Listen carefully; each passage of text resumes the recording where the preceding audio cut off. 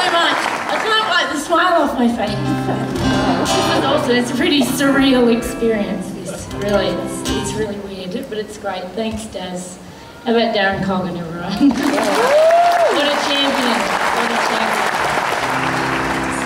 We um, we're, we're pretty excited to be to be putting this gig on. Um, we, like Darren said before, not much has changed. We we did our first rehearsal in 20 years about half an hour ago for this gig. So anything could happen really. And and it's funny. We we the first song that we rehearsed was this one that we're about to play, and we hadn't even finished the first verse, and we were already in an argument. we, were, we were already yelling at each other. So That's what they paid money for.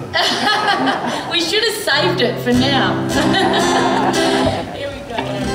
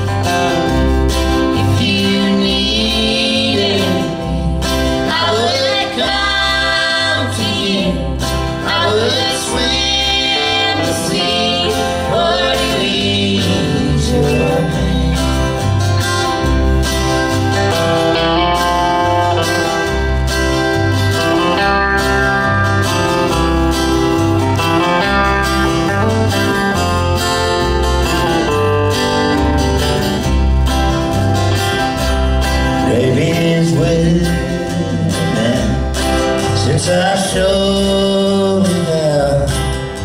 The way